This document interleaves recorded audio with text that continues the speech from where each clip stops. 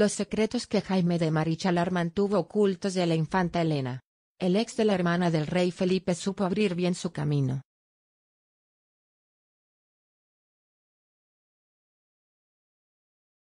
Después de terminar su relación con la infanta Elena, Jaime de Marichalar se abocó a su carrera profesional, y se concentró en varios puntos claves de su vida, pero principalmente se centró en negocios de representación en varios consejos de administración. Desde seguros a la construcción, pero siempre pasando por marcas de lujo.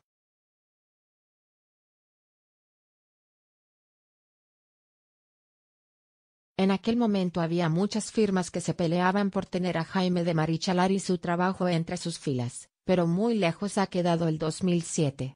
Ahora él se encuentra al borde de los 60, por lo que la mayoría de sus privilegios han cambiado. Él mismo ha ido abandonando de a poco los cargos directivos de varias empresas en las que trabajaba.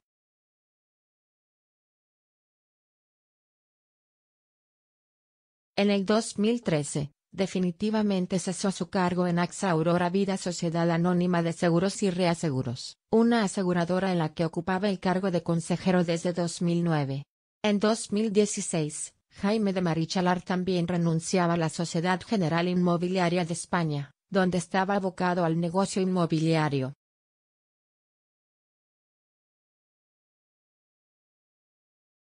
En la actualidad, el padre de Victoria Federica tiene un cargo activo en tres sociedades, todas relacionadas con el mercado del lujo. Una es Fendi Retail Spain, propiedad del conglomerado de lujo, otra es Louis Vuitton Moet Hennessy, dedicado especialmente a la exportación de ropa, joyería y accesorios de primera.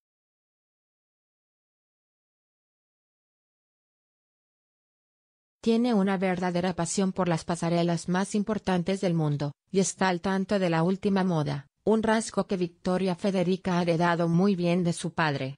Jaime de Marichalar también mantiene su puesto en el Consejo Directivo de Loewe, firma donde trabaja como consejero desde 2013.